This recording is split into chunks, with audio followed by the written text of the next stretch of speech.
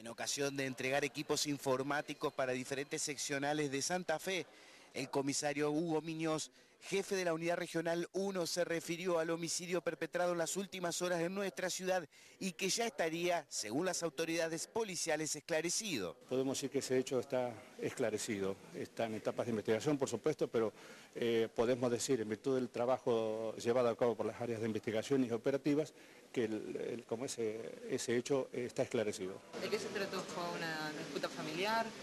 No, no, fue un hecho, directamente fue un, atentado, digamos, fue una persona donde ahí el responsable de ese delito se cometió sin, sin otras implicancias. ¿Tenía alguna vinculación, víctima y victimario? Son conocidos del barrio, sí, eh, pero no podemos a este momento decir que hubo una causal determinada, es motivo de investigación en todo caso. ¿Y en qué circunstancias se produjo el hecho?